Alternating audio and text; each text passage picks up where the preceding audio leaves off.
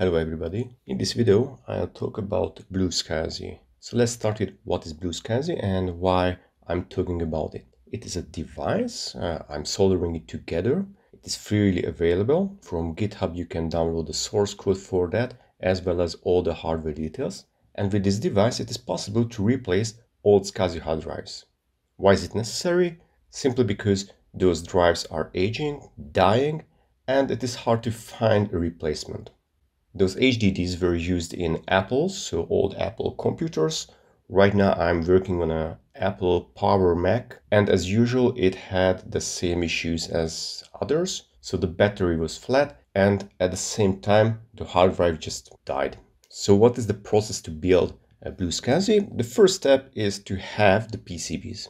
I've ordered it in the past, so I already built five of them. And right now I'm working on the second batch. The next step is order spare parts. To be honest, this is very easy. You can order everything, but you need to take care of the SD card part because this is a bit tricky. So I have different types at home. So I'm working from spare parts I already have in stock. So none of them in the in the drawer are matching this particular PCB, but I can work with them. If you already soldered it, you are over the, the tricky part because from this point, you just need to solder a few hundred of additional pins. Start with the resistors and then the diodes and the jumpers, the connector and the controller itself. And this is where I can explain where the blue BlueSCSI name is coming. Somebody started to call this microcontroller as Blue Pill. This is where the blue BlueSCSI name is coming. So Blue as Blue Pill and SCSI as the drive it is simulating. As soon as the soldering is done, the next major step is to install the firmware. There are multiple ways. I'm using the complicated way, so I'm building it from the source code.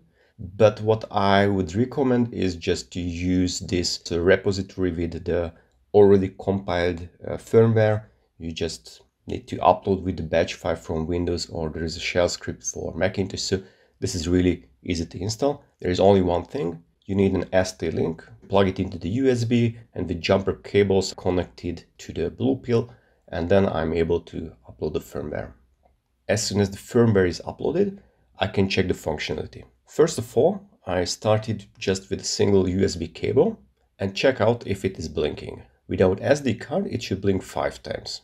It is a kind of error code, so it cannot find a proper SD card. So it is blinking five times, wait a little bit, and then blink again and again and again. So it is indicating at least the controller and the firmware is ready to go. The next step, still connected via the USB cable, is to plug in an SD card, push the reset button, and let's see if it is loading up. It shouldn't blink.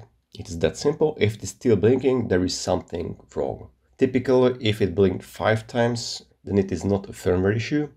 Right now I made a mistake, so I had to resolder one of the SD cards but it's normal so this is why I'm, I'm testing before using it with the computer. And the last step is to test it with the power mac.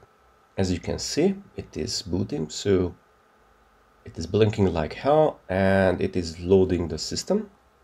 So right now I'm using system 8.1 and I run few tests. But before that let me show you, I printed few things. If you remember my previous video with the KLP1 3D printer, then I used this one to print these holders for the BlueSCSI. So that way I can mount it easily.